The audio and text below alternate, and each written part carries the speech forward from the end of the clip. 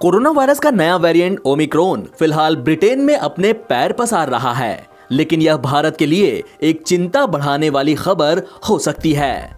ऐसा इसलिए क्योंकि भारत में भी ओमिक्रोन से संक्रमित मरीजों की संख्या बढ़ रही है और जिस तरह से लोग लापरवाही कर रहे हैं, यह भारत के लिए घातक साबित हो सकता है।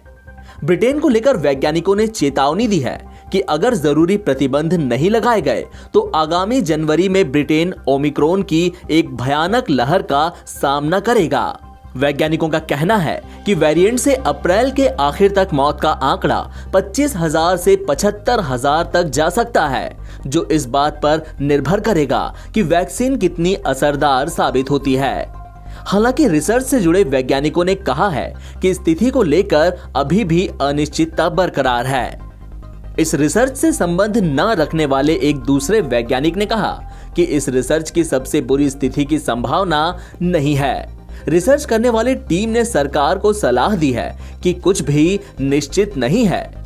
रिसर्च में ये नहीं बताया गया है कि कोरोना वायरस के ओमिक्रॉन वेरिएंट का भविष्य क्या होगा, लेकिन यह कुछ संभावित परिणामों पर रोशनी डालता है। यह research London School of Hygiene and Tropical Medicine में डिज़ीज़ मॉडलर्स के एक समूह ने की है।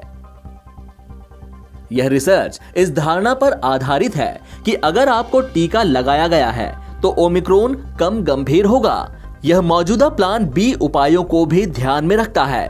शोधकर्ताओं ने कहा कि बूस्टर डोज लेने से ओमिक्रोन के घातक प्रभाव को कम करने की संभावना है। यह रिसर्च ऐसे समय पर सामने आई है, जब ब्रिटेन ने शनिवार को चौवन हज़ार तिहत्तर नए मामलों की पुष्टि की है। इसमें ओमिक्रोन के 633 मामले शामिल हैं। हालाँकि ओमिक्रोन मामलों की वास्तविक संख्या बहुत अधिक होने का अनुमान है। रिसर्च टीम में शामिल डॉक्टर निक डेविस ने कहा कि ओमिक्रोन बहुत तेज़ी से फैल रहा है और काफ़ी चिंताजनक है। उन्होंने बताया कि साल के आखिर तक ओमिक्रोन ब्रिटेन में वायरस का प्रमुख रूप बनकर सामने आ सकता है। रिपोर्ट में कहा गया कि ब्रिटेन में फ़िलहाल हर चार दशमलव दो दिन में संक्रमित लोगों की संख्या दोगुनी हो रही है। यह देश में उच्च स्तर के टीकाकरण के बावजूद और वायरस के मूल रूप की तुलना में तेज़ी से फैल रहा है, जो तब फैला था जब किसी को भी वैक्सीन नहीं लगी थी। डॉक्टर डेविस ने कहा कि हम जो देख रहे हैं उसके आधार पर हम कह सकते हैं कि ब्रिटेन में ओमिक्रोन की एक बड़ी लहर आ सकती है। एनबीटी ऑनलाइन की रिपोर्ट।